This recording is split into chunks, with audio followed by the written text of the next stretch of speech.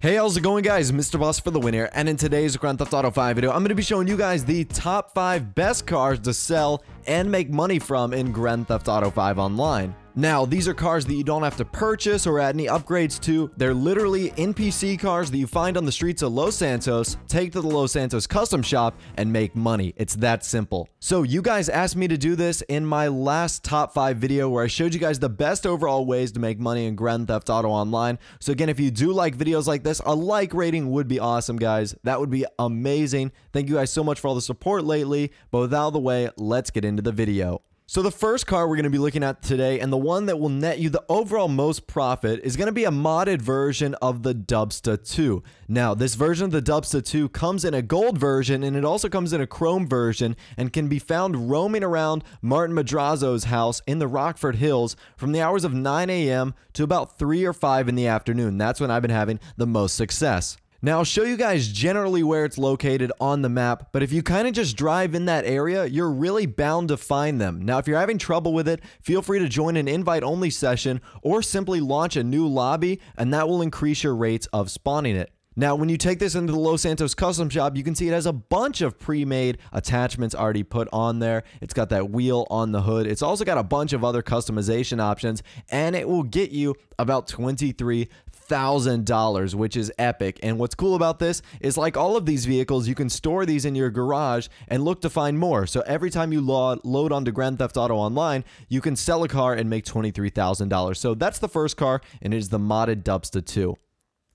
So our next two cars in the top five are actually going to be the same variant of that vehicle, and it's going to be the Sentinel XS. Now, these two versions of these cars are going to be found between the hours of 1800 and about 4 a.m. So basically when the sun goes down, right till about when the sun is coming up in Grand Theft Auto 5. And you're going to find these cars right on the street towards the Eclipse Towers, and you're going to find two variants. You're going to find one, which is a yellow one, and that one is going to sell for around $14,000 and you're also going to find a purple one with red wheels, and that one is going to sell for $17,000. Now, these cars are typically just making a giant loop around this area, but I have found the most success when they come to this traffic light and they actually stop behind vehicles. So they're super easy to take and steal. Just knock the driver out and you're free to do whatever you want. Like the Dubsta 2, I typically store one or two in my garage, and then from there, every time I log onto Grand Theft Auto Online, I just sell one of the vehicles. So it's really easy. Now, our next vehicle is actually going to be the Vapid Sand King XL, and this can be found up in Paleto Bay.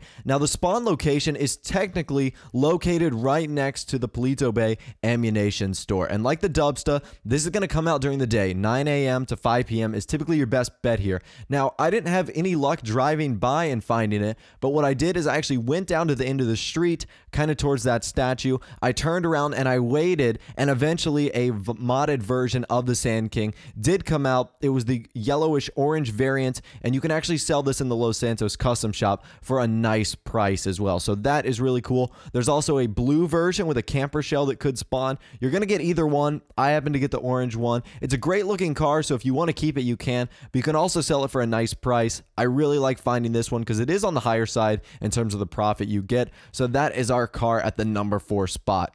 Now, I think I've saved the coolest car for last in terms of looks and also what you can sell this vehicle. Now, this one doesn't have a set spawn location, but I have had the most success at the two Los Santos custom shops, the one located in downtown Los Santos and the other one located kind of under the bridge near that police station. So it's going to spawn here during the daytime. I had the most success from around 10 a.m. to 3 p.m., so a little bit of a shorter hour, but nevertheless, I find it parked in this parking spot and it's going to be this bright blue color and it's awesome. Not only does this car look great, but you can go to the Los Santos custom shop and you can sell it for around $21,000. That is really cool kind of up there with the Dubsta 2 in terms of price, and it looks great as well. If you're looking to build like a base Dominator, this would be a great start because it's already got a lot of cool customization options on there. But we are looking to sell these vehicles, we are looking to make money, and this one in particular is a great way to sell and earn $20,000 super fast and super easy.